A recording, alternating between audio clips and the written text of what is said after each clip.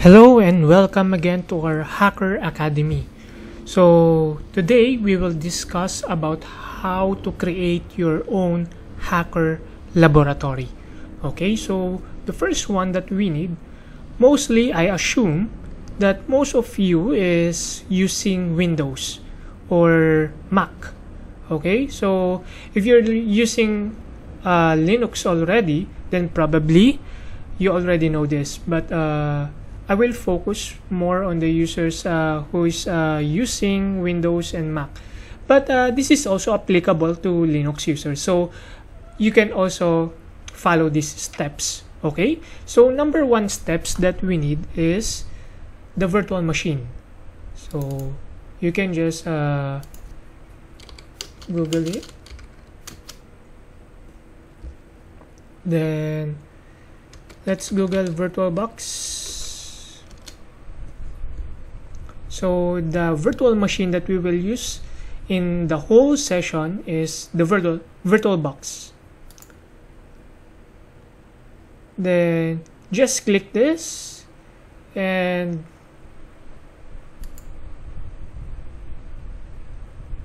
if you're using Windows then click Windows and it will download. But I already have it. That's why I canceled it so after the installation this is the Oracle VM VirtualBox okay?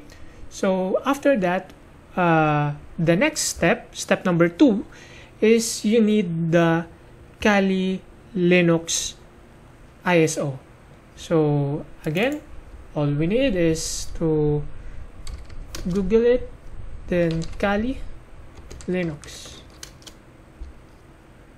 then let's click this and click downloads.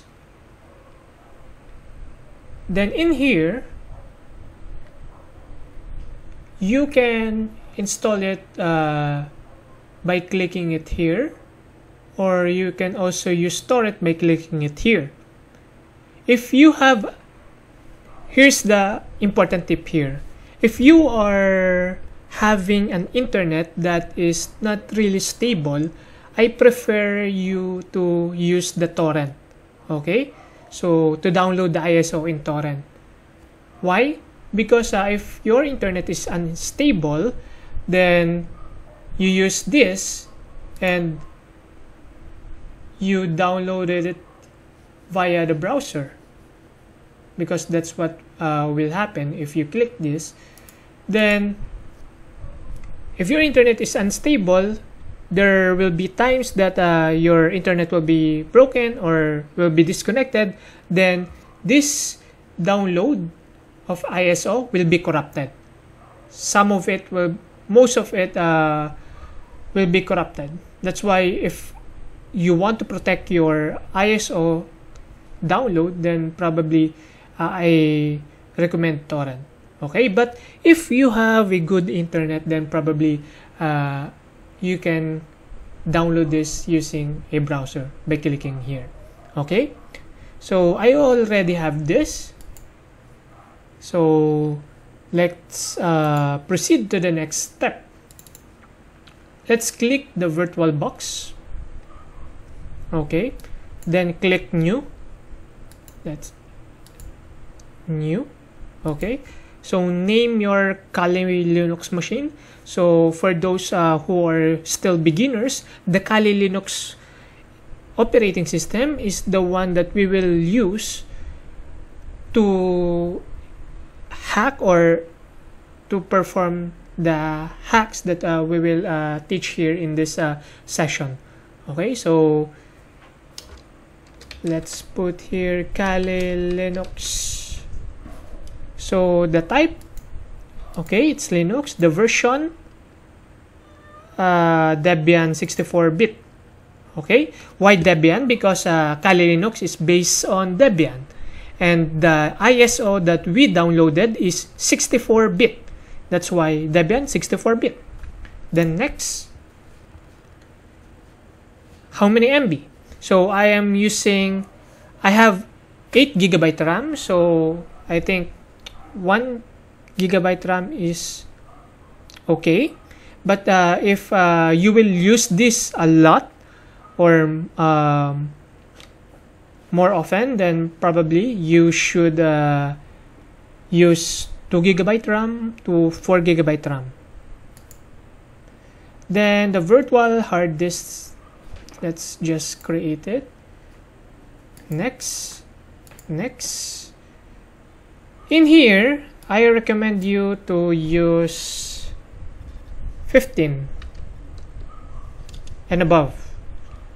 So why 15 because uh, some installation failed because it lacks storage okay? So 15 and above. Then after creating it we're not done yet. Uh, click the settings then let's put in here the ISO that we have. So click storage then click the disk here. Then add. Let's add this.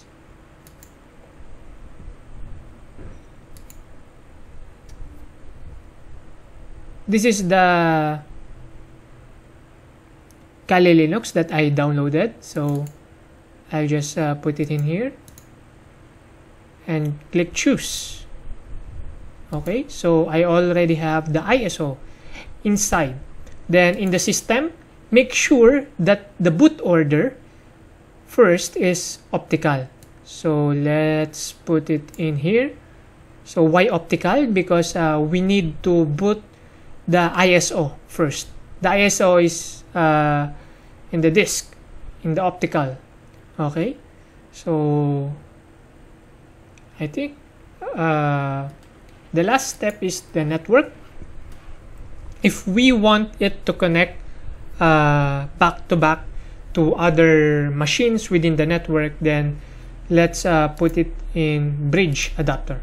Okay so so that if we are performing some uh, reverse shell attacks then it will be uh, successful.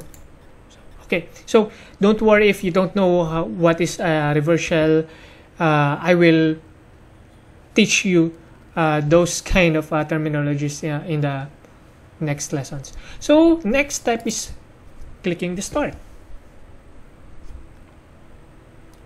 So by clicking the start let's uh, choose the ISO that we have then start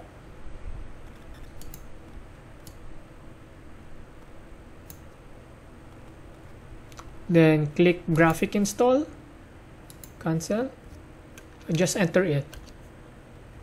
Okay.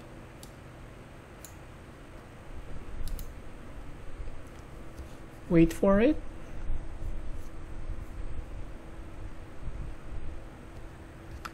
English. Since we are here in the Philippines continue. Philippines.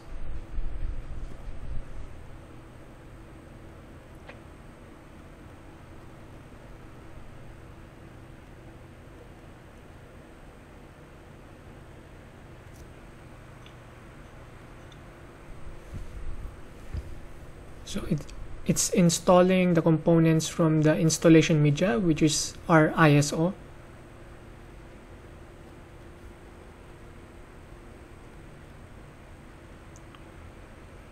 configuring the network so it's connected to the network automatically because uh, we're using virtual machine. But if uh, it is not a virtual machine then probably it will uh, prompt you to input the username and password of your Wi-Fi. So host name, uh, I will put here Ninja, but uh, whatever you prefer. okay, so continue. Domain name, let's skip it. Just continue. Full name, I will not use my full name here because of course we will use this for hacking. okay so I will just put Sherlock Holmes. Okay continue. Username for your account? Okay Sherlock. Then password let's use a strong password with uh, capital letter uh, symbol numeric character and lowercase character. So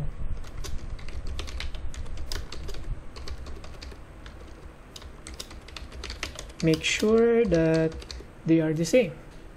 Then click continue. Detecting the disk. Partitioning the disk. Okay so now we will be uh, performing the partitioning of the disk. So because we are using virtual machine we will choose the use entire disk okay?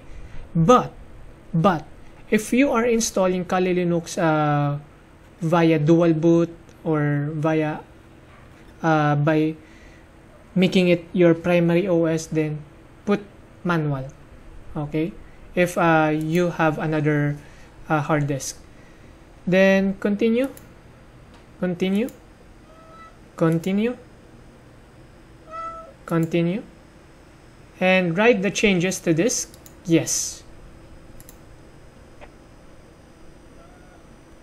and it's installing the base system in the hard disk that uh, we partition.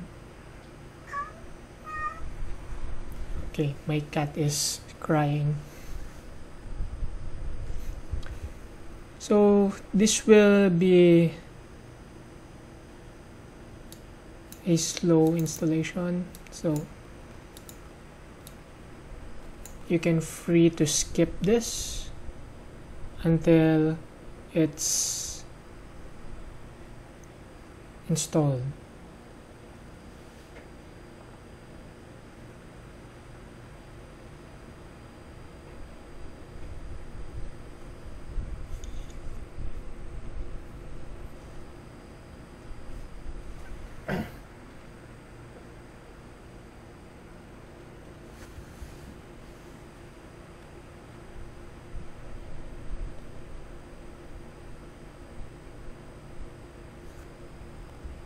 So while waiting for this,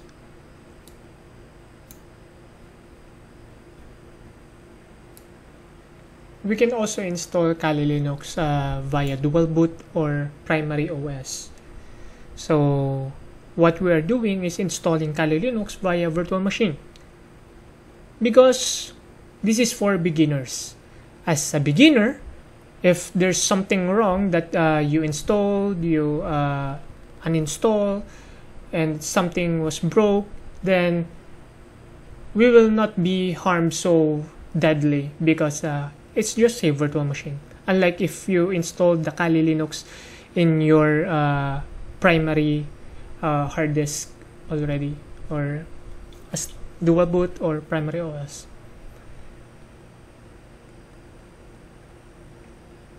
Okay.